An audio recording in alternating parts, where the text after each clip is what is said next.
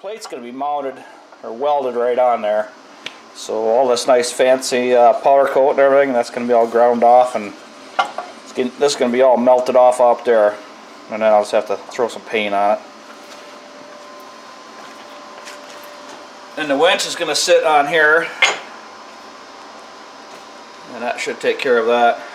And then uh, when I'm done using it, I'll just pull the pin out, pull this off, and put it back in the trailer. Then a controller for the winch. Took me a while to figure out where to put it. It's going to be sitting right there mounted, so that's going to be out of the way.